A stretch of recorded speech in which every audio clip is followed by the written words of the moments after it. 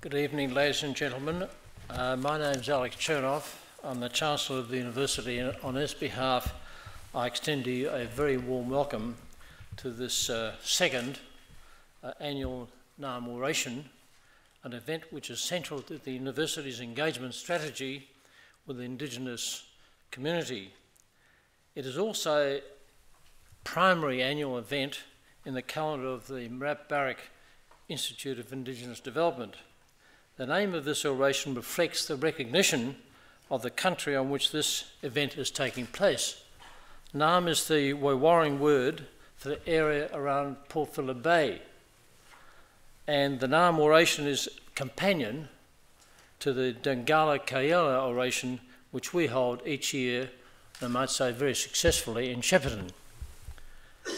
Uh, this evening we were to receive welcome to country from Auntie Joy Wandin Murphy, but unfortunately she's unwell and cannot be with us. But we're fortunate that Auntie Diana Kerr is here to provide the welcome to country on this important occasion.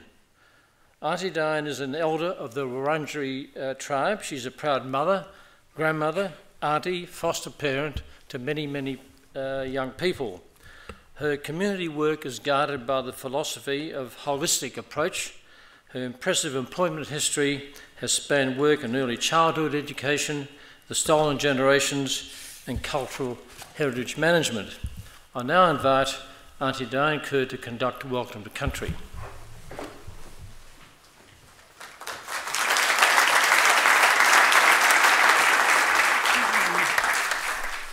Oh, good evening, everybody. I'd like to pay my respects to my elders, my elders past and present, elders present here today, and elders of different nations that are here today.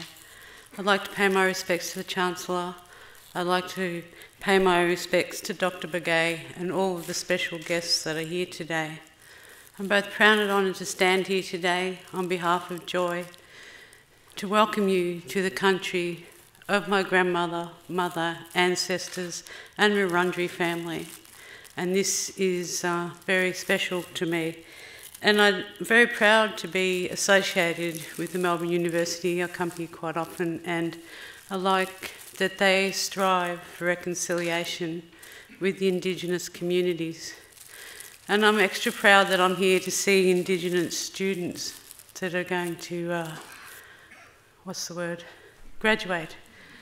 And um, I often think about it because sometimes you think that you're graduating and that's it, but it's not. Graduation to me means that you've excel, excelled on your pathway through life. It means that you have done extremely well in life, that you can now support and help the Indigenous community.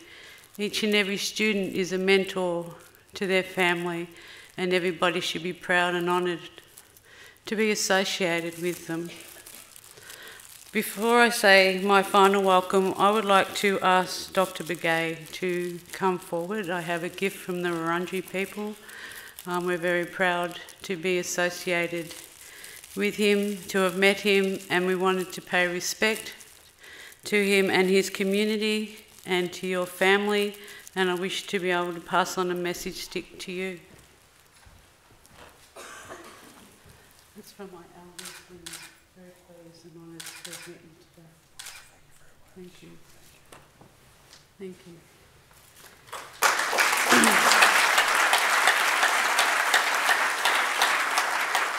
I would just like, in closing, to say that I'd like each and every one of you to start to know your people next door, people in your community of different cultures get to understand them, hear their culture, and share their cultures.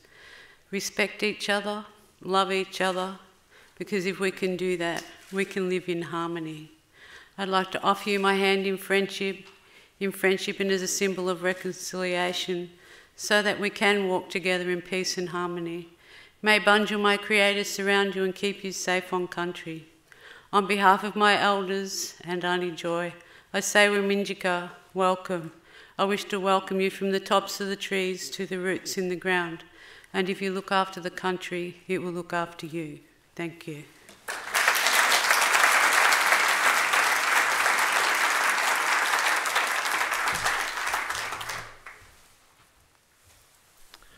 Many thanks, Auntie Diane, for your welcome. And I too would like to honour the elders, past and present. In particular, I acknowledge the elders of the Victorian Koori community who are present here tonight. And a special welcome to Duwawa Marika, an elder from the Yalambara community from East Arnhem Land and Aboriginal artist in residence at Trinity College. In order for you to follow the proceeding uh, more easily this evening, can I give an outline of the events which are to come, which are also set out on the third page of your brochure? First, I will award a professional certificate indig in Indigenous research and training practice to eight of the first cohort of students to have completed the course. The students will be presented by Professor Marcia Langton, the Foundation Chair uh, of Australian Indigenous Studies at this university. We will then welcome the 2010 Narrm Orator, Dr. Manley Begay, Director of the Native Nations Institute for Leadership, Management and Policy at the University of Arizona. At the conclusion of the oration, Deputy Vice Chancellor for University Affairs, Professor Warren Bebbington, will move the vote of thanks and will tell us about the new partnership between Murrup, uh, Melbourne Institute for Indigenous Development and Rio Tinto Australia. The new partnership will then be launched by the Managing Director of Rio Tinto Australia, Mr David Peever. This will be followed by short closing remarks by Professor Ian Anderson, the Director of the Murrup Barak Institute, and I will then conclude the proceeding and ask you to stand while those in the procession will leave the auditorium. In just a few moments, as I've indicated, I shall present certificates to the eight students who've successfully completed their graduate studies for the professional certificate to which I've referred. But before I do that, I would like to tell you something about the program in which these students were engaged. Uh, that program brings together Indigenous graduate students from all over Australia with their academic supervisors for a five day residential intensive uh, to develop the skills, knowledge, and commitments needed to go on and complete the journey through research hard degrees such as the PhD. The program has operated at this university in January of each year since 2002, and to date, approximately 130 students have completed it. In 2010, the program was offered for the first time as a professional certificate and this evening we're awarding the certificate to eight of the 14 students who successfully completed the course requirements. Given the tyranny of distance, uh, students uh, who travel to the course, uh, not all of them can come this evening, so only eight of these 14 are able to be here this evening and they will receive their certificate in the way I've described. That now the design and the delivery of the program has been achieved by collaborative, collaborative effort, and that's important to recognise. The original conception of the Indigenous Postgraduate Summer School grew from the intellectual leadership of Professor Marcia Langton in consultation with like-minded colleagues from universities across Australia. A number of partners within the university have contributed to the work required to transform the summer school into an award-based program, in particular the Melbourne School of Graduate Research, the Centre for of Higher Education and the Faculty of Medicine, Dentistry and Health Sciences. And I'm delighted to see that their Dean, Professor James Angus, is with us tonight. The delivery of this pilot program in 2010 would not have occurred without the academic support of Christine Asmar and Dr. Jane Freemantle. The program is supported each year by the Centre for Indigenous Education and the students stay at Trinity College. The future of the program is assured thanks to very generous gifts to the university which has enabled the development of an Indigenous graduate study pathway fund. This gift will fund a residential intensive development program for Indigenous research will also be used to fund travel, accommodation and course delivery costs. Thanks to the gift, we will be able to develop this academic program into a graduate certificate that will enable enrolled students to consolidate their skills in relation to research leadership and management. And can I take the opportunity on behalf of the university to congratulate the eight students about to receive their awards. You've worked hard during an intensive period of study and are entitled to feel proud of your achievements. I also want to extend the university's thanks to your academic supervisors and course leaders and to others who've supported you in your endeavour, many of whom can't be present here this evening for obvious reasons. Your achievements, of course, belong to you, but it's appropriate to recognise that the help that was provided by so many others. Now, at the conclusion of the presentation of the awards, there will be a short session during which students will be photographed, much as one is used to seeing at a wedding reception. Um, I, I, now call on Professor, Professor Marcia Langton, Foundation Professor of Indigenous Studies, to come to the lectern to present the recipients of the certificate to which I've referred.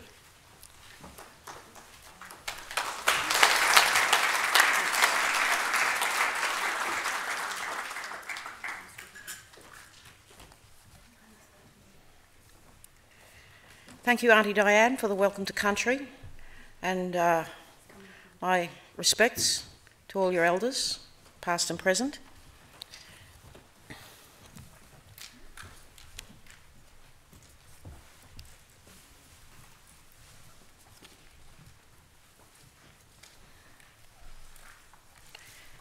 Chancellor, it gives me great pleasure to present to you these candidates who have been awarded the Professional Certificate in Indigenous Research and Training Practice. Victoria Close.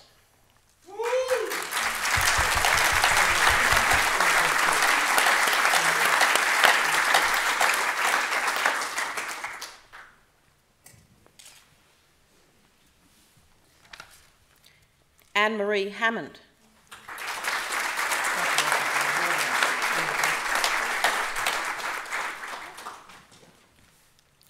Terry James.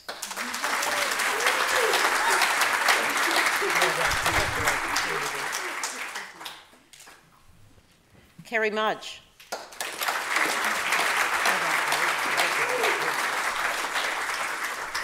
Leanne Pilkington.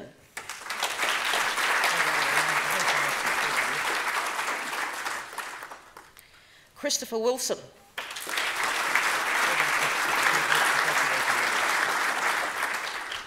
Scott Winch.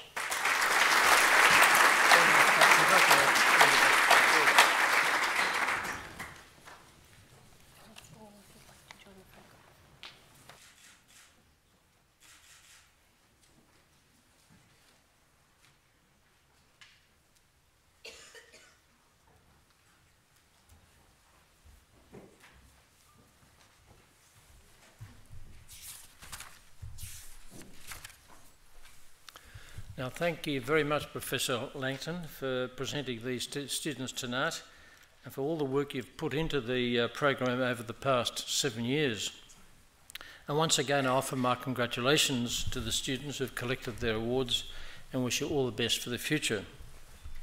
This concludes the presentation of the awards, and it's time now to move to the main item of our agenda, uh, the Narrm oration. And it's my very great pleasure to introduce tonight's orator, Dr. Manley Begay.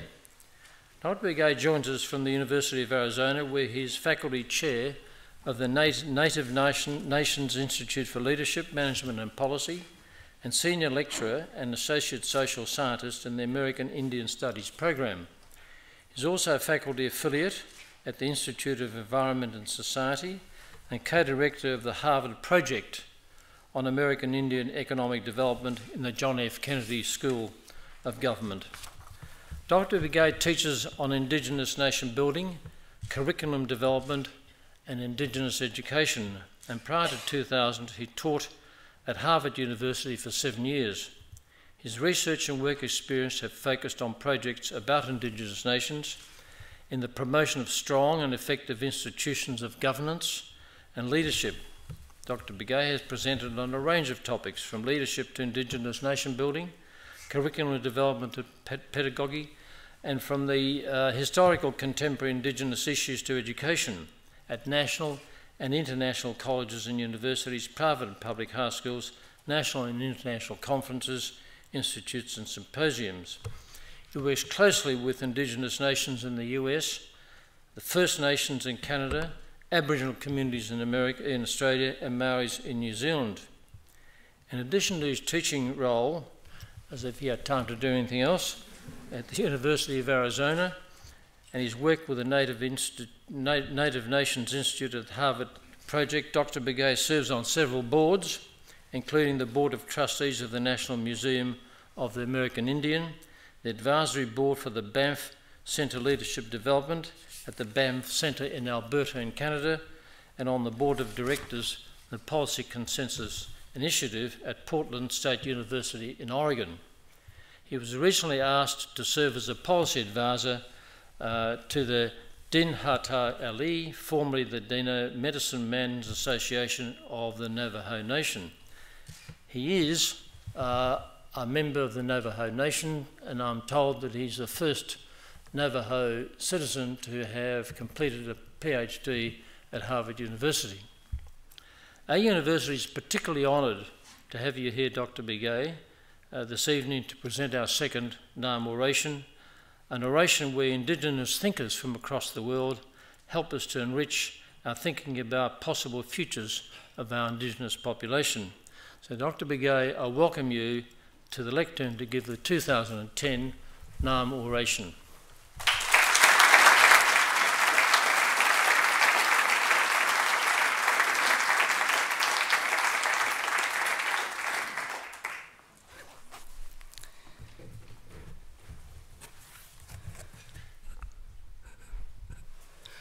Яд э хвасна скейдош нэ да нотлны гидо хян ирэдэшинсэн ику эдинал ташто нэриги хатиц ташто нэриги азия бахэнсэн адо квэ циншлэждан лэниги квэ да баганиги уранжи дан лидиги эдиги а а шилбахазэн долэсэн до хян ирэдэшнил квэн жано никэя ния Gwedon jano hi ke ach kwe. Na shado lelti kwishin ka hawan dessa ko o ke oh, hen ire de shin so dishne Aron hi kedo dit nel an lini don halchen dan linigi si ja ba hensen hot a e koto her ire de stel mai de ski jenschne Tachini was es chin look at net as chedo toriji das nalle Ado belkin schnael lo at nenle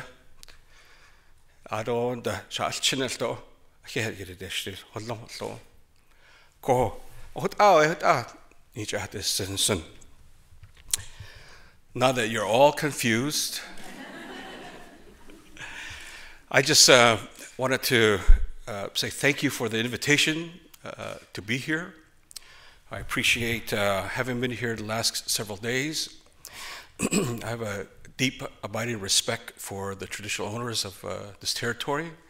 And thank you for the beautiful gift uh, that, was, that was given. I'm uh, uh respectful of um, your land, uh, your waters, your plants, your animals, uh, your air, all the way up into the heavens, the stars. And I, um, I come from the Navajo Nation. my wife is also from the Navajo Nation. I gave you my clans. I'm a Coyote Pass clan, also uh, the Red Running into the Water people. Uh, as Navajo people, we always introduce ourselves with four clans uh, our mother's clan, our father's clan, our mother's father's clan, and our father's father's clan as well. And I gave you those clans for those of you that uh, understand Navajo. And uh, it gives me great honor and, and pleasure to um, to be here to give this uh, oration. I come from uh, the Navajo Nation, and we number uh, 300,000 people. And uh, our, we're the largest uh, Aboriginal group uh, in North America by population and also by land mass. our land is approximately 27,000 miles of land, square miles of land. And as I speak, we're buying back our land, our territory. And uh, at the turn of the century, we numbered 7,000. Now we number 300,000. So you can see the tremendous amount of change that has occurred uh, uh, uh, even with my own people. You can drive on my land for four or five hours and you will not run into one non indigenous community. If you drove east, west, if you drove south, north, the same thing. You would not run into a non indigenous community. So our land is uh, contiguous. And if you're driving too fast, you would be stopped by the Navajo police. you would be given a ticket by the Navajo police, and you would have to pay a fine in Navajo court. If you contested that fine, you would probably end up at the Navajo Nation Supreme Court, where you will be uh, tried based on Navajo fundamental laws, which is customary law, traditional law, natural law. That is our law. And today, the Navajo Nation Supreme Court renders decisions using Navajo fundamental laws on everything from insurance cases to land cases to election cases, just about every manner of, of legal issue that arises before the Navajo Nation. So the Navajo Nation Supreme Court uh, enjoys that. and it's a, it's a highly respected court system. It's recognized by state governments, the federal government, and it's recognized by uh, the foremost law schools uh, throughout the United States. So you can see I come from a very uh, proud nation. And um, the story tonight that I'm going to tell you is about this political renaissance. Slide, please. We're in this era, an era of nation building that has never happened before in the history of the United States. Probably the only time that we have enjoyed nation building was before the settlers arrived uh, in our territory. And this is around uh, the late 1400s. And since then, we've had to deal with the Spanish, we've had to deal with the Mexicans, we had to deal with uh, a variety of other uh, settlers to our country. And today, we're in the midst of this nation building. We've moved from self determination to nation building, and it's producing some amazing results. Today, since, uh, 1900, uh, since the 1990s, um, uh, per capita income has increased three times larger than the United States income. It's unbelievable and has had a tremendous amount of impact on social conditions, educational attainment rates, uh, tradition and culture as well.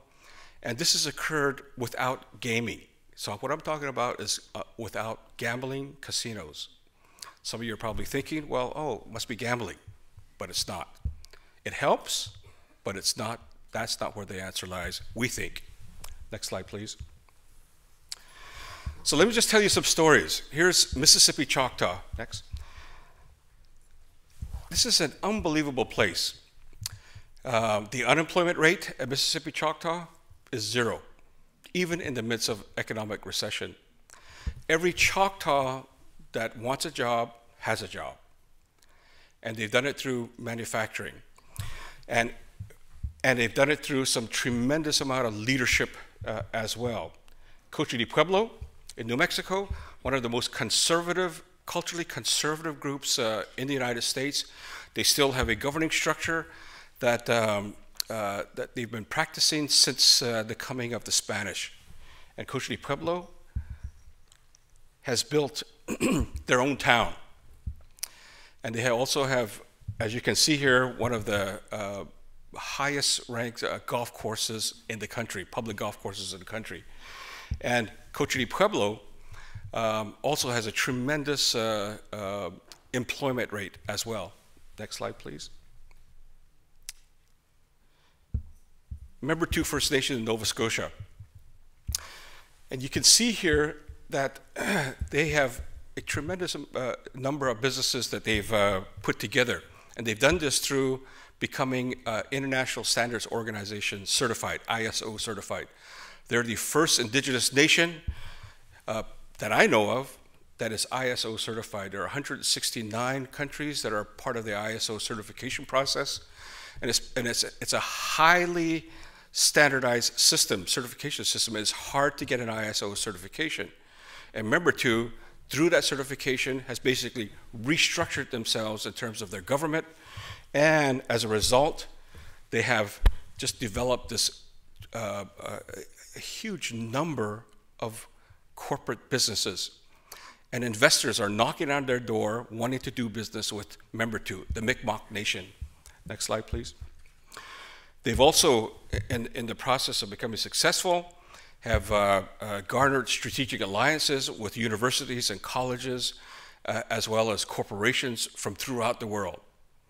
And as a result, when you go to, to Membertou, um, they have beautiful homes, beautiful roads, and in the midst of that, they've had a cultural revolution as well. Next slide, please. Osoyoos in uh, southern British Columbia. The same thing as well. The stories there are tremendous. They are one of the first uh, First Nations that have, um, thank you, that actually they, they have their own vineyard. Uh, often when we start talking about alcohol, the thought is, oh, alcohol abuse. There isn't a problem at Osoyoos. Why? Because you can get bottles of wine, $100 a, a, a pop, $200 a pop. So who wants to get drunk on $200 a bottle of wine? And they've actually um, uh, partnered with uh, one of the top four wineries in the world.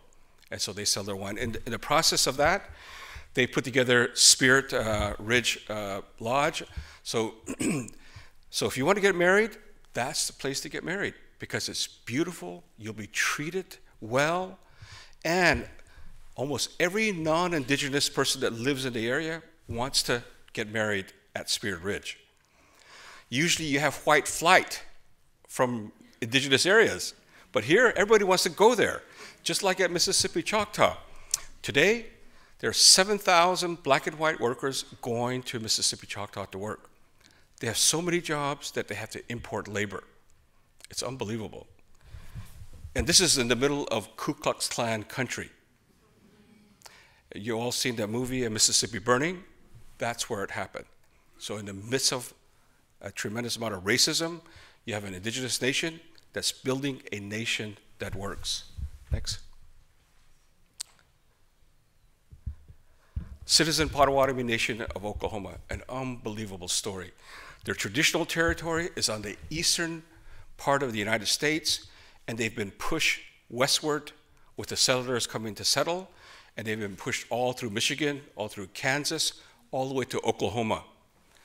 And in the process, had lost their culture, but recently they've regained their culture, they've regained their tradition.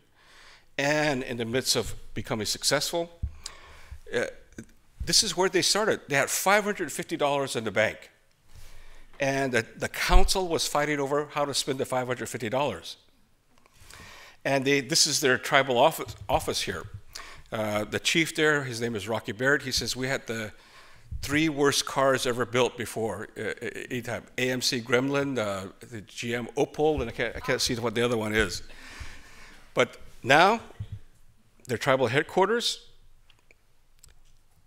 this is what it looks like and they have over $500 million in the bank, and that bank that they had $550 in, they own that bank. Next slide, please. They also have built uh, uh, this Fire Lake uh, discount uh, grocery store, and it, and it rivals Walmart. You go here, you get a cheaper grocery than Walmart, and it's hard to beat Walmart.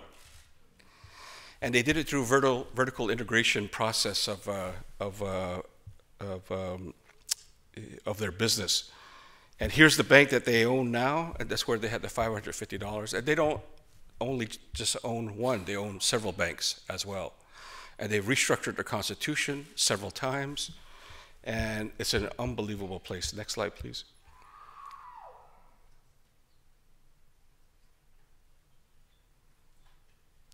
The I just want to just sort of just touch on this real, real quickly. Uh, push. Saginaw, Michigan. Uh, one of the most successful housing projects that, you'll ever find. But I just wanted to note uh, here, they also run this Eagle Valley uh, Outfitters. It says 10,000 years of outdoor experience. and you can get anything online related to outdoors. Uh, they've been very successful. They have a, a, you see the housing project there as well. Uh, next slide, please.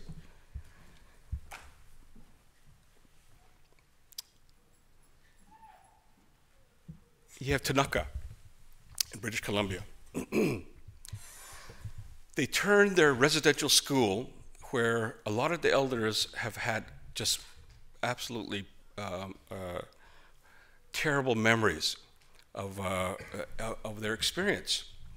And they've turned this residential school into a hotel. And when you go through the front door, you'll still see the cross uh, going into the, into the building.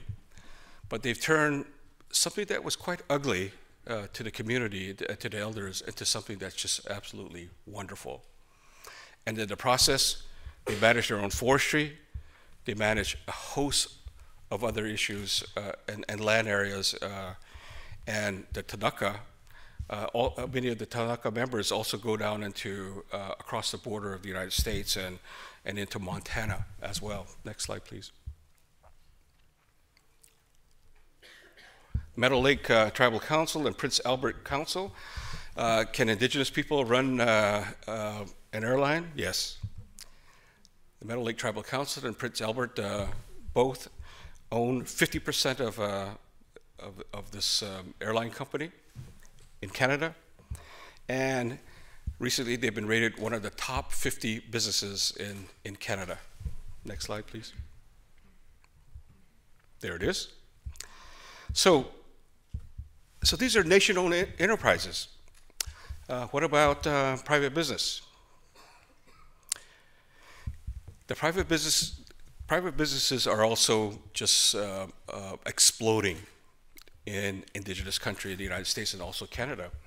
In particular, you had the Pine Ridge, um, South Dakota uh, Chamber of Commerce. Over 100 private businesses have been started in the area. At one point in time, Pine Ridge was rated the poorest place in the United States. They no longer have that distinction. They sort of move beyond that and a lot has had to do with uh, private businesses. You'll see these Angie's Burritos. Angie uh, married a Mexican uh, gentleman. He taught her how to make burritos, and she sold burritos. Very successful business. And um, uh, Karlene Hunter actually started the, the Tatanka Bar. A lot of your marathon runners, um, this, that's the bar that they want. You can even order this online and it's made out of berries and buffalo meat. High protein bar used for uh, by uh, many of the top athletes in the world, and uh, very very successful uh, private entrepreneurship. Next slide, please. So, what explains the success? You know, is it uh, federal money? Is it um, you know uh, picking the right leaders? Is it uh, luck? Uh, let me tell you what it is or what we think it is. All of, the, all of that stuff helps. But we think really the action, next, we think it has a lot to do with like the Cherokee Nation judicial building there. You see Ysleta del Sur, which is a, a, an Indian nation that has been moved from their traditional homeland down into Texas, in El Paso, Texas, and they've survived there for 300 years and have become a major economic engine of the area. Um, you'll see also um, the Osage Nation governmental reform that just recently happened a couple years ago, and it just changed the political face of, of that nation. Uh, up in Alaska, you have a, a, an alternative dispute resolution mechanism that has reduced the recidivism rate of uh, juvenile offenders by almost 100 percent. 97.5 to be exact. Next. You'll see also that um, many of these nations have their own law enforcement agencies. Uh, my brother actually is a criminal investigator at Navajo Nation. Uh, he's the Navajo CSI.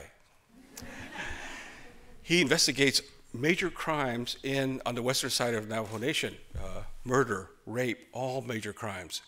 The reason why the Navajo Nation went that route is because by the time you call the FBI down in Phoenix and they arrive on the Navajo Nation, the evidence is gone. So Navajo Nation said, we're going to have our own CSI. We're going to have our own criminal investigators. And you can see on the far right there, sort of the emblem that he wears um, uh, on his uniform. And he received his training in Quantico, Virginia, where the other FBIs also received their training. Next slide, please. Here's the Navajo Nation Supreme Court. You can see here we have two women on the court, and uh, the Chief Justice is a, is a man.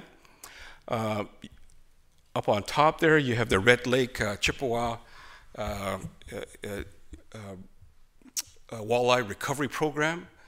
the Red Lake um, started a major initiative to recover walleye. At one point in time, the walleye population had almost gone down to zero. And um, they brought the walleye back. Unbelievable. Next. Here's Nisga'a in British Columbia. Here's their, their council chambers. I think that's the uh, minister from uh, British Columbia give, addressing the, uh, the council there. Uh, here's their um, motto uh, one heart, one path, one nation. Next slide, please. So, we think a, a big part of the answer is governance. You know, it's about how these nations govern themselves. Who makes the decisions? Who's in charge? And we think the action is around that. Not unlike uh, Eastern Europe, not unlike South Africa after apartheid fell apart, not unlike Eastern Europe after uh, the Iron Curtain fell apart, because those are examples of colonization. In the United States, colonization is slowly going by the wayside. Now, I'm not saying that it's uh, uh, completely gone, not by any means. There are still a lot of issues around colonization, but colonization has sort of taken the backside to uh, sovereignty, uh, uh, political sovereignty, self rule. Who calls the shots? In the United States, indigenous peoples are calling the shots. In Canada, slowly, by and large, indigenous nations are calling the shots. And in turn, wonderful things are happening. Unbelievable things are happening. The, as I said before, social pathologies are decreasing. Uh, and as a result, um, it, it's um, uh, tax of the people has gone down. And it, it, it's a wonderful time to be indigenous because times are really, really good. I never thought that in my lifetime that such a thing would ever happen. I always thought that we would always be under the thumb of the federal government of the United States, but that is not the case.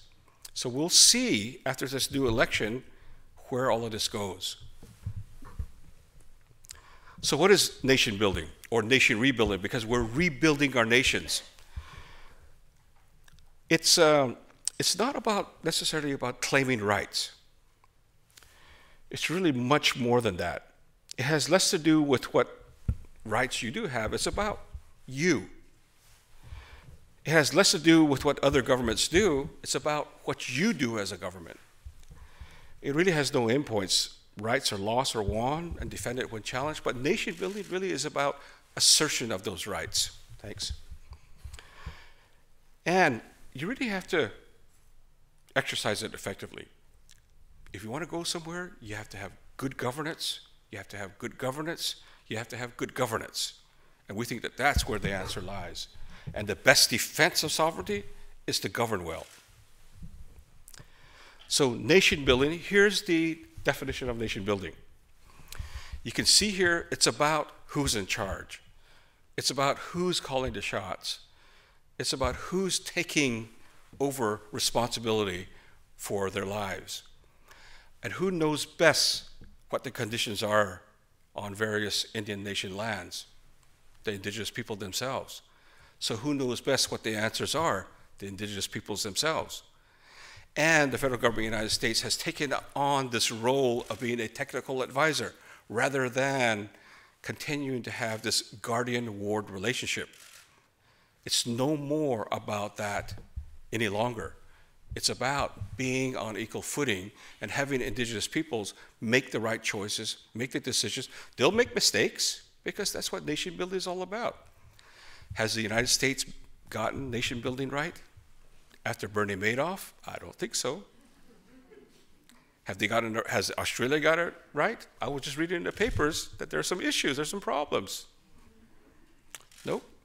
So every nation has problems, but it's who's in charge, who's calling the shots that really makes the huge, huge difference. Next slide, please. So, what are the common patterns? We think first and foremost, it has to be about jurisdiction, self rule, or sovereignty. You have to have that attitude. These indigenous nations that I'm talking about have that jurisdictional attitude. You, will see here the various powers and authority that, that that's enjoyed by uh, indigenous nations in the United States. We do all of this. The only thing that we don't do is what's down at the bottom Postal Service, uh, issue our own currency, as well as have a standing army. We used to, but we no longer have a standing army. But we enjoy all of this. We have criminal courts, civil courts, we have business permitting, business regulation, and in the United States, we're the ones that are in charge of our lands, our country. We know best how to take care of it. Next. And it's really interesting. It's about freedom. It's about freedom. Freedom to make a choice. That's what democracy is supposed to be all about. Is the freedom to make a choice.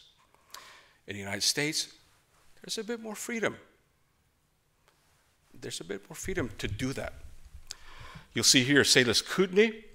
Salish Kootenai in Montana, one of the first Indian nations to take over almost every aspect of their land operation.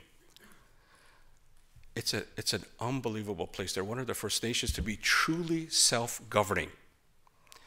And wonderful things have happened. They take care of the land better than anybody else. Next. So it's this jurisdictional sovereignty attitude. But you can have all the jurisdiction in the world, you can have all the sovereignty in the world, and still fall flat on your face. You have to have the second ingredient. You have to have capable governing institutions. Why is it so important? Because governments establish and enforce the rules by which we play. And if the rules aren't right, then there's a problem. But these rules also have to be culturally appropriate as well two tests for capable governing institution. Test one, you have to have leadership and management that's, that's just absolutely effective, that works, and that's competent.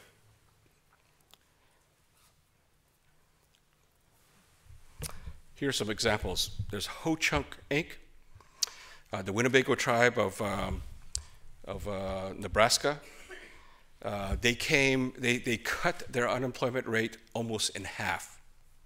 Once they took over the projects, they have a, uh, a, a Harvard trained tribal citizen CEO that runs all these businesses.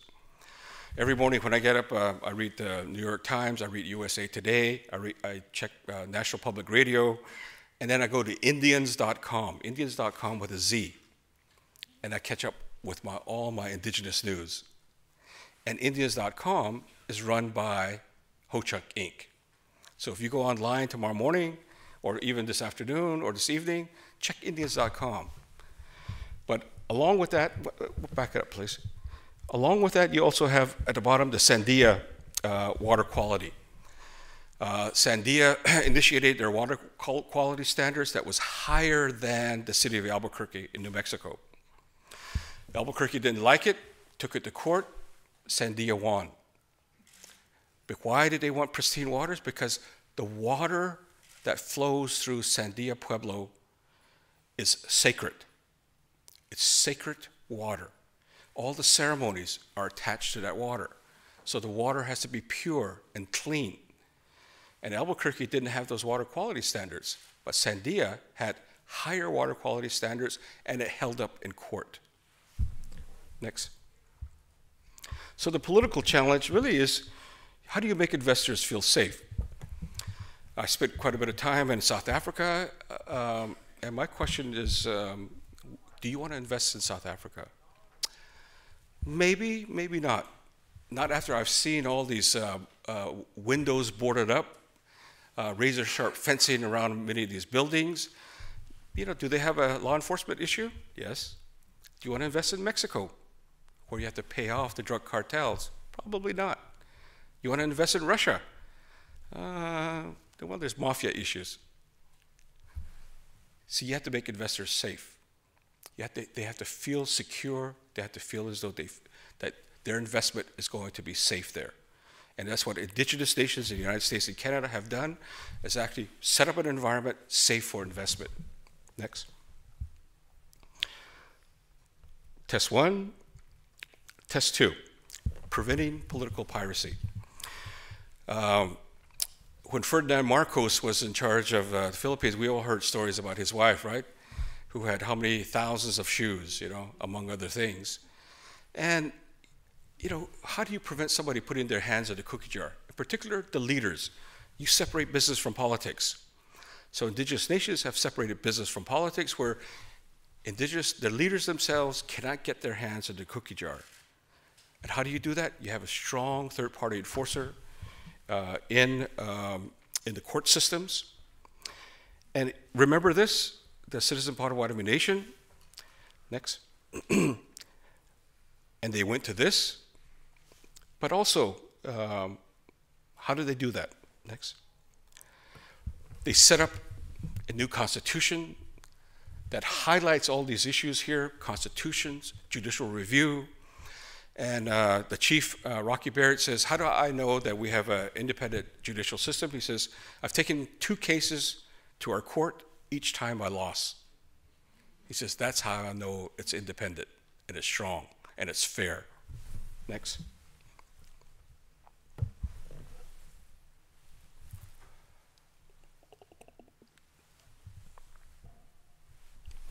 You see these San Carlos Apache elders they're essentially the fourth branch of the government of uh, San Carlos Apaches.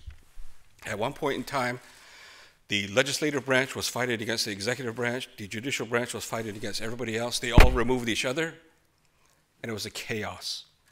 So the San Carlos Apache elders stepped in, and they, they're the finger waggers.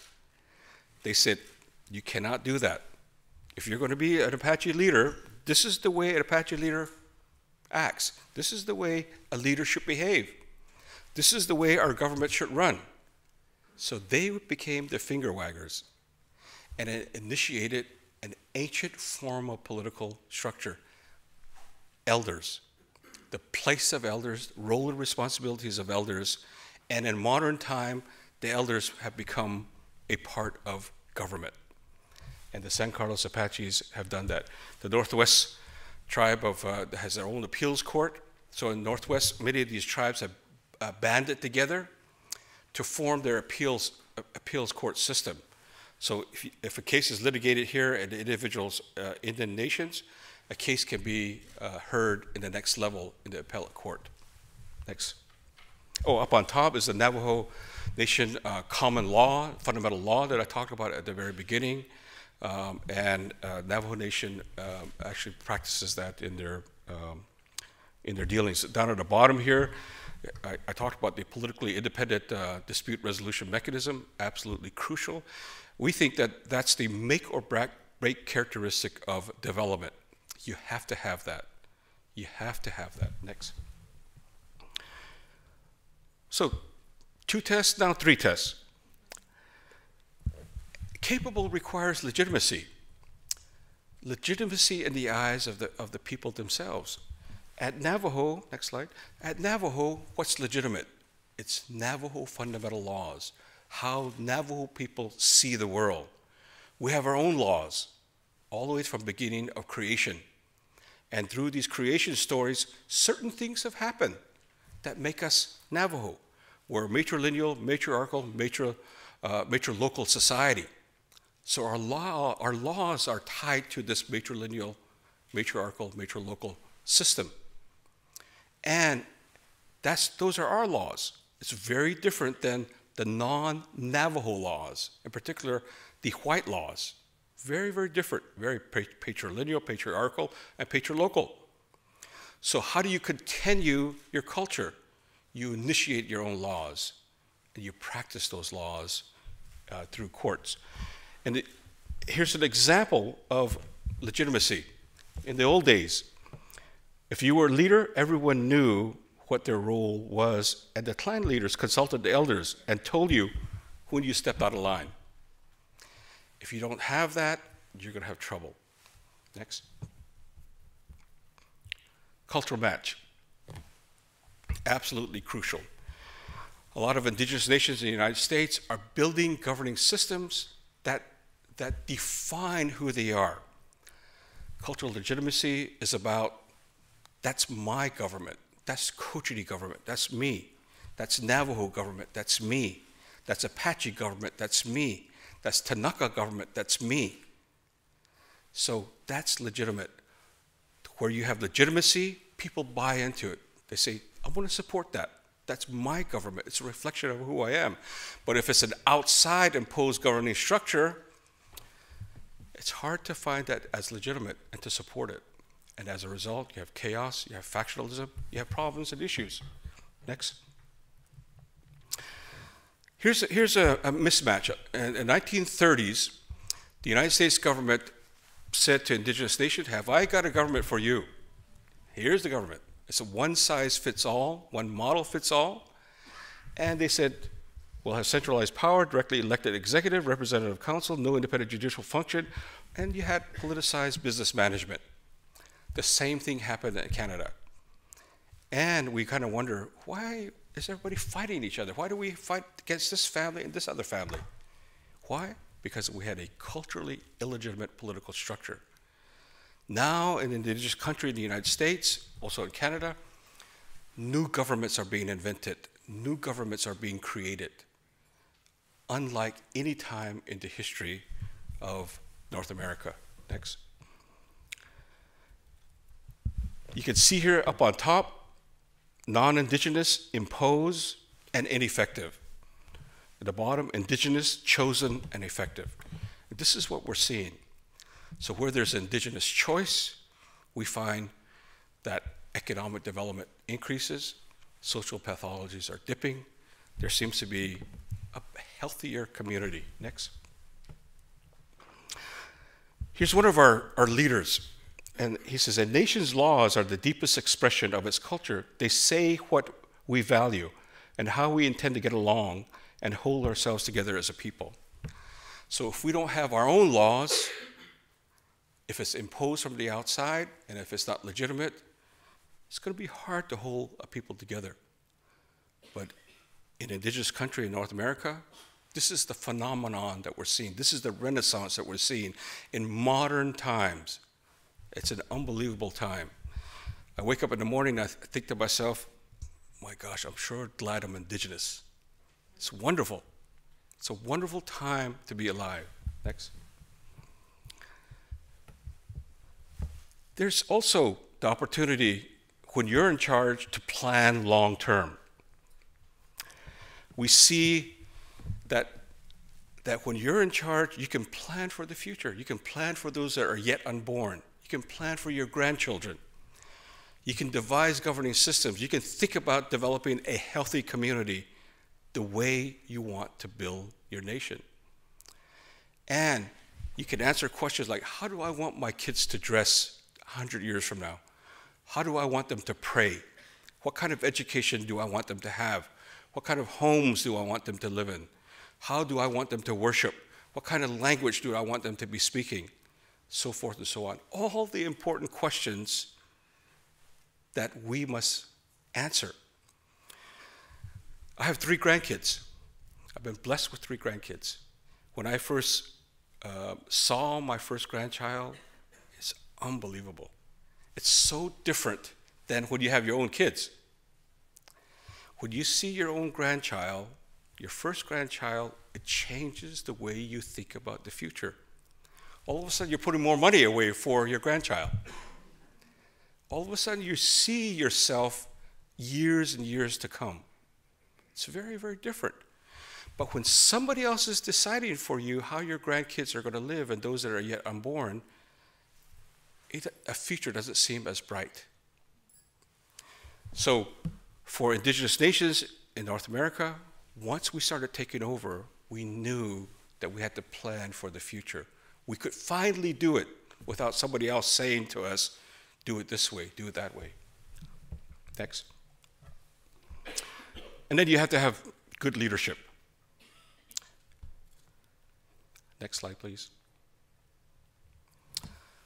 Just like these elders, the uh, San Carlos Apache elders, the finger waggers, good leadership. Next. So, what's good government? You know, the one, a good government is one that will take care of the challenges that you're facing. A good government is one that will see the future with you. Next slide, please. And we think that you have to pass two tests. It has to be culturally appropriate. Cultural legitimacy has to be there. It has to work. It has to be effective. Do the people believe the government they have is really theirs? Too often, colonizers sort of impose their own governing structure on us. Is it effective? Does the governance system have what it takes to get the job done? Does it really work? Next, please. So, rules, we believe, are absolutely critical. Law. Here, the Aborigines of Australia, they talk about law. Law is absolutely important, critical. And we think that the rules, the law, is more important than all the resources in the world. You can have all the resources in the world and fall flat on your face. But you have to have good rules, good rules, absolutely good rules. All the rest of the stuff helps, but if you have good institutions, things will work out much better. It actually, good institutions actually outlast leaders. Sometimes we see uh, communities where people are saying, we just need that one leader. They're looking for the savior, you know? They're looking for one person to save them. But it takes 25 years to grow a good leader, and you cannot always trust that leader also. You never know, but you can always trust the rules. That's why these creation stories and the laws that come up through our creation stories are so critical to who we are as a people. And for us, we've incorporated it into our governing system. And all of a sudden, the communities are very, very different. People look at each other very, very diff different. They're working together in unison to take on the challenges that we face. Next. Here's Rocky Barrett. He says a tribal government without good rules is just a bad family reunion. Ain't that the truth? So, what are the keys? Here's, here's, here are the keys that are spelled out. Go ahead. And really, it's about all the things that I just mentioned to you about political sovereignty, capable institutions of governance, uh, cultural match, strategic thinking long term, having good leaders. Those seem to be the keys to development. Next. So, is nation building revolution just about business? Uh, we don't think so. Next. It's about culture. It's about the Cherokee language revitalization program. At one point in time, the Cherokee language was just about dead. And the Cherokees have turned it around. In two years, the first graduating class from the high school in Cherokee, the kids there will be fluent Cherokee speakers. Fluent. And it started in Head Start four or five year olds. They immerse the kids in the Cherokee language. It's about culture. Next. It's about health. It's about reducing the social pathologies. Jemez Pueblo has an award winning healthcare facility. Down here at the bottom, uh, Coeur d'Alene um, uh, put together a joint agreement with uh, their neighbor, a non uh, Indian community, and built a healthcare facility that, that rivals any healthcare facility in the United States. Uh, you see the Citizen Potawatomi dentists. You see that um, a lot of uh, Indian nations are building just wonderful health facilities as well. Next. It's about taking care of the land. I talked about um, the Salish and Kootenai, the Flatheads of Montana. Um, basically, they run, the, they take care of their, their entire land themselves. They have their own conservation officers, they have their own law enforcement officers, they have their own biologists, and many of them are their own people, and they handle and take care of all the wildlife and water and so forth on the lands. Next. It's about restoring natural resources. I talked about this ear- earlier with Red Lake uh, in, um, in Minnesota, Red Lake Chippewa. Uh, the walleye just about died, and they brought back the walleye from the brink of extinction. And today, young kids can actually go fishing and actually be Anishinaabe Chippewa. Be culturally Anishinaabe because without walleye, you're not Anishinaabe. You have to have walleye. It's like family. And so if the walleye had died, they would have died too, culturally. But they brought back the fish. And now they're more Anishinaabe than they have ever been. Next. It's about education. Up on top, we have the Akwesasne Freedom School. It's, a, it's run entirely by um, the parents. They don't accept any money from any federal government or state agency. They run the school themselves. And their emphasis is on culture and language. Next. It's about honoring the best of the nation. It's about our elders. It's about the kids. It's about our veterans. Uh, in the United States, the Indian people have uh, served in the armed forces uh, in greater numbers than any ethnic minority group in the United States. Why? Because the thought is we're defending our land, we're defending our homeland. And they fought in every war. Uh, in World War I, American Indians were not citizens of the United States. Even then, there were a huge number of enlistees uh, from Indian nations and fought in World War I. In World War II, many of them did not have also citizen st- citizenship status in, in the various, because some of the various states would not allow citizenship to occur, and they still fought in World War II. Unbelievable. Next. And that's and they honor the citizens of Potawatomi have this wall of honor where every single veteran that served in, in every war is honored. So you go to a kiosk and you can actually bring up the story of, of that particular veteran that has fought in war or served in, in service. It's about honoring uh, the very best of the nation. It's about ceremony, culture, economic development. It's about housing. It's about sovereignty. Uh, it's about the future. And we think the future looks very bright. We think the future in our own hands is very, very bright. Next. It's about the grandchildren. It's about those that are yet unborn.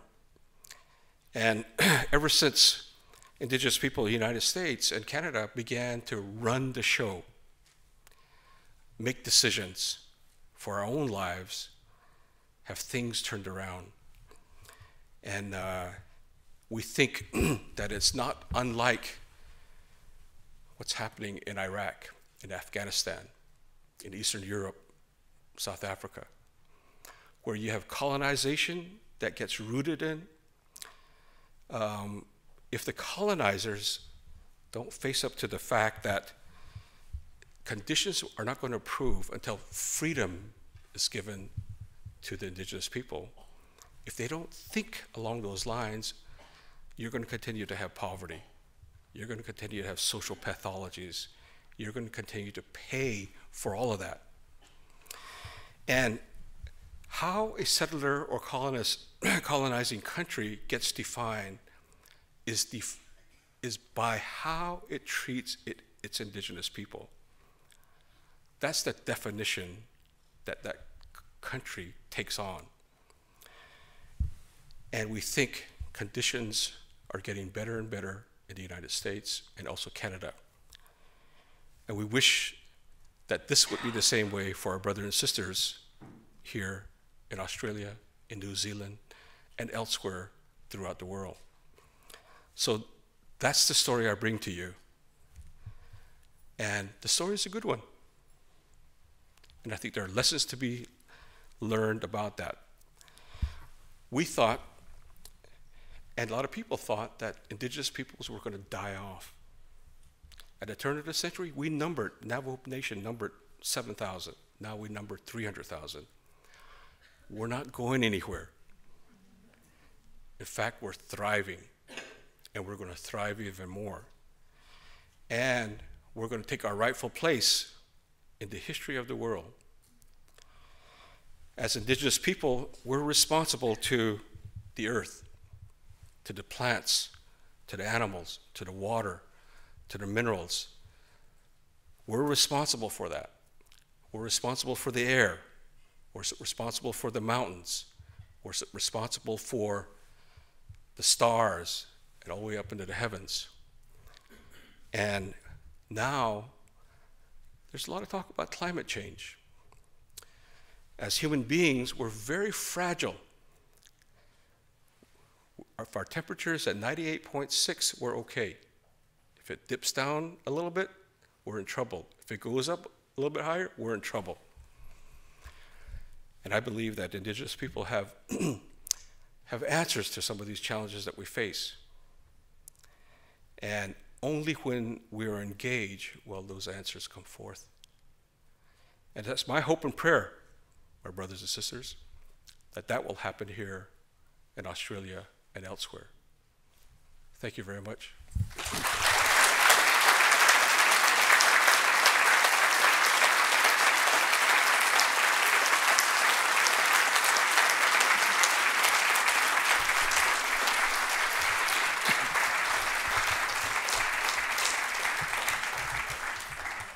Well, that was absolutely stunning.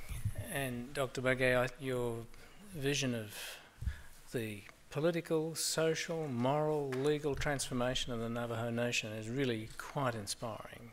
And uh, when we set up these lectures, we were hoping uh, that they would involve the sharing of dialogue from around the world relevant to the Indigenous experience here, and I think you would all agree that uh, tonight that's been a most outstanding example of our hope for these orations. So would you please thank Dr. Begay.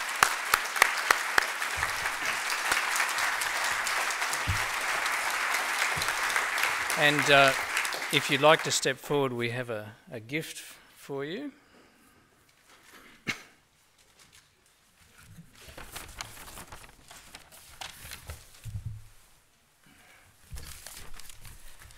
And we also have, have one for Auntie Diane Kerr as well. So if you'd like to come forward.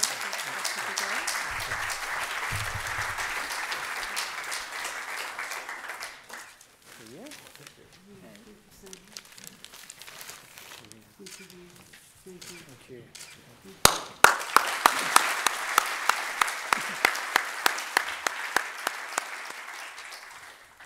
Tonight we also have an announcement uh, of a quite different nature, and it's my pleasure to be able to introduce it. Uh, Barak, our Institute of Indigenous Development, is a year old uh, this month, and we're marking this occasion with the announcement of its foundation corporate partnership with Rio Tinto Australia. Rio Tinto is an organisation with which the university's had a long-standing relationship, developed over time, working across a number of projects and faculty areas. And this partnership is now entering a new stage of opportunity through its linkage with Murrup Barak. the partnership between Rio Tinto and Murrup Barak, in common with the best of our university partnerships with external organisations, has evolved slowly and thoughtfully based on a great deal of discussion and has created a careful understanding between the two organisations. So it's my pleasure uh, to introduce the Managing Director of Rio Tinto Australia, who will speak of and formally launch Murrup Barak's Foundation Corporate Partnership, um, Mr David Peever.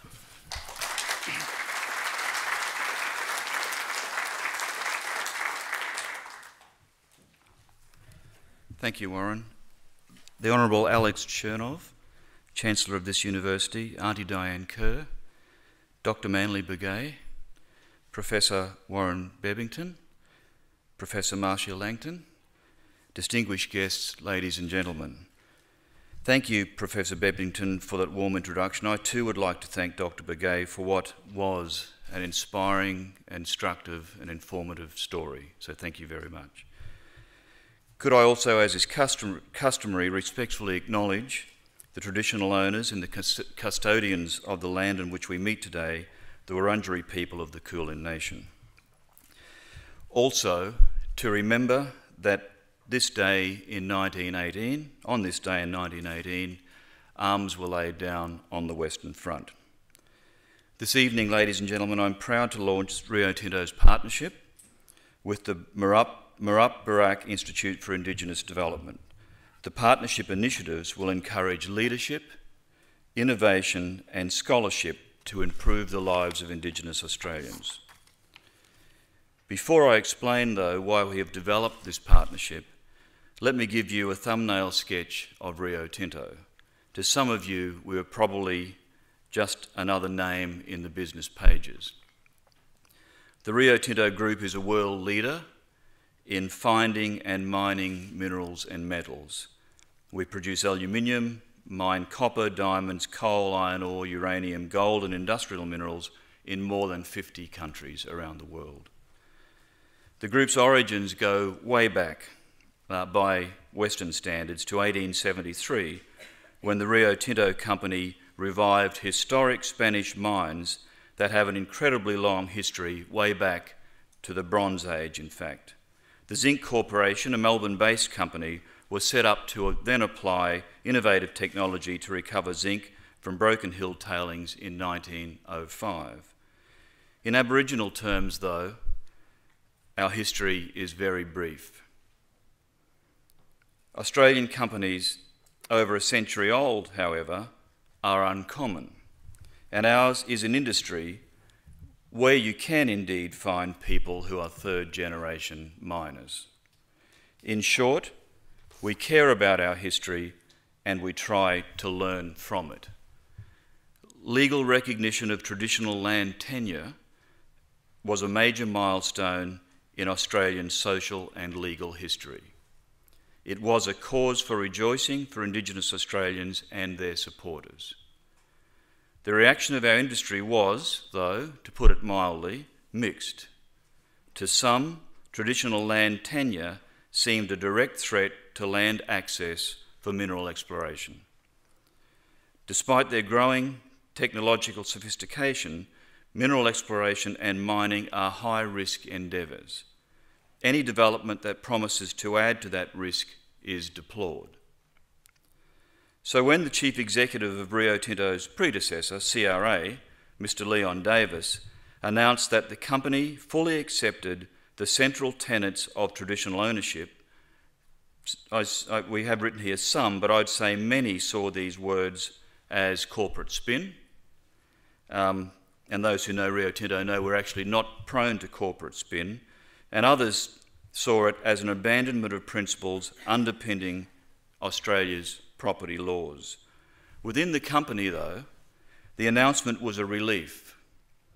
For too long, our industry's strictly legalistic approach to land rights had soured relationships between mineral explorers and Indigenous Australians. Moreover, in this company, we were starting to realise that there was a conflict, conflict between what we did on Australia and what we did overseas. And we saw that in other developed countries, some form of traditional tenure survived. In Australia, our relationships with Indigenous communities, communities were strictly regulated by state and federal authorities. In North America and elsewhere, on the other hand, we tried to understand and mitigate the economic, social, and environmental impacts of our operations on local and regional communities. You could not visit a resource development in outback Australia without being acutely aware of the economic and social differences between the employees and the long term residents. Piecemeal attempts to assist local communities were made prior to Mabo. Local people were employed in fairly basic tasks. Some funds were directed to health clinics and education. Quite often, the well meaning initiatives fail to fulfil the hopes of those who put a lot of thought and resources into their development. With hindsight, we now understand that programs of this nature require both parties to feel empowered. Otherwise, there can never be the interchange of ideas and mutual respect essential to success in such endeavours. There were other drivers for the new approach. One was generational change. Resource companies compete for talented young recruits. Such people tend to want to work for companies whose reputation for, for, for, financial success is matched by a reputation for taking social and environmental issues seriously. For Rio Tinto, gaining the respect of Indigenous Australians is a challenge. Yet, over the past 25 years, some progress has been made, but we acknowledge there is a lot more to be done. First, Rio Tinto's engagement with local communities is no longer a peripheral issue to be handled in an ad hoc manner by local managers. It's a core concern discussed regularly at board level and is understood that poor performance in this area can and will have repercussions for the performance of our business across the group. Consistent with this understanding, Rio Tinto now employs senior professionals with social science skills at sites and headquarters. Their efforts are supplemented by, growing, by a growing network of Indigenous and non Indigenous experts and advisors. Fundamentally, their aim is to help us see the world from a different angle, to break through the cultural and social barriers that limit understanding and empathy. Secondly, we now try to deal with fundamental causes rather than symptoms. Let me give you an example. A generation ago, relatively few Aboriginal males were employed in equipment operations or mechanic shops. Frequently, employment meant casual labour, typically used for work such as collecting seed for regeneration plots, an important task but not one to provide a stable income for the community. We developed training programs that catered for cultural differences. However, it was obvious that ill health, poor education, poverty, and social and cultural disruption fed off one another. Intervention in one area alone was never going to break a cycle that started before a child was born and ended in third world mortality rates. What was needed was a more comprehensive, long term regional approach to economic and social empowerment. No mining company wants to be an enclave of prosperity in a sea of poverty, yet not even a group with the resources of Rio Tinto can undertake such a task, such, sorry, such a legacy of dispossession. And the third reason for saying that some progress has already been made is that we now realise, therefore, that we cannot bring about change alone. Nevertheless, Rio Tinto does have resources and skills that can contribute to the empowerment of Indigenous Australians. In some cases, it is uniquely positioned to do so, but only when combined with the efforts of Indigenous institutions, governments at all levels, private enterprise, and bodies such as this university. Frankly, I personally don't want to be part of a society where a minority are condemned to economic disadvantage. Nor do I want my neighbours to feel that the resources of this land are profiting people who have never seen the land, while they whose ancestors cared for the land merely subsist and cannot break out of dependency and poverty traps. The fourth reason for remaining hopeful is leaders and leadership. There have always been outstanding Indigenous leaders. William Barak is an obvious example, whose personal stature impressed settlers and visitors. That was not an easy task when those settlers were, by and large, convinced of their cultural, spiritual, and racial superiority. Today, that sense of superiority is less obvious. We are more inclined to judge people on their merits and to respect their culture and diversity by their ability, ability to master technology and to create and to contribute. That's why I feel positive. One of the achievements that we in Rio Tinto are most proud of is that we employ 1,600 Indigenous men and women, a growing number in skilled and professional roles. We are seeing more Aboriginal businesses servicing our industry. In Western Australia alone, over the last two years, Rio Tinto has awarded $250 million in contracts to Aboriginal companies. When an Indigenous Australian manages one of our major operations, it will be one milestone showing the vicious cycle is at least dented, if not broken. The antenatal clinics, the education programs and scholarships, the employment initiatives, the cross cultural training, and the economic stimulus programs will have borne some fruit. When that day comes, this university will be able to share some of the credit for having nurtured the leaders responsible for that rising level of Indigenous economic participation and social empowerment. And we in Rio Tinto will be gratified to have been the foundation corporate partner of the Murrup Barak Institute. Thank you very much.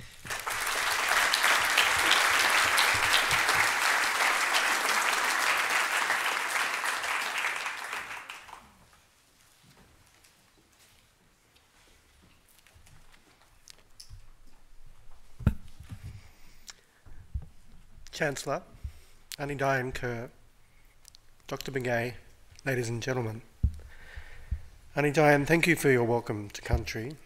And I'd like to, as the protocol demands, pay the respects of my people, Palawa Trowana, Paima Marana, Trawallaway, and Plummer clan groups. My task is to make some concluding and brief remarks. The benediction, if you like. When I thought about this, what is an appropriate benediction to make in an occasion like this, I was drawn to a salutation written some years ago by the Aboriginal poet Oodgeroo Noonuccal, or Kath Walker. This salutation is the final verse in her poem, Song of Hope. The poem is nearly 40 years old. It's from another era, an era before Aboriginal people could expect the rights of citizenship. It is a call to political struggle in a time of tremendous uh, disadvantage. But also, it's a moving vision for a new age. And I'll read this poem in its entirety. Look up, my people. The dawn is breaking, the world is waking to a new bright day. When none defame us, nor colour shame us, nor sneer dismay. Now brood no more on the years behind you. The hope assigned you shall the past replace. When juster justice, grown wise and stronger, points the bow no longer at a darker race. So long we waited, bound and frustrated, till hate be hated and caste deposed. Now light shall guide us, and all doors open that long were closed. See plain the promise, dark freedom lover, night's nearly over. And though long the climb, new rights will greet us, new mateship meet us, and joy complete us in our new dream time. To our fathers' fathers, the pain, the sorrow. To our children's children, the glad tomorrow. Dr. Begay, you've shown us that that glad tomorrow is within our grasp. And for that, I thank you.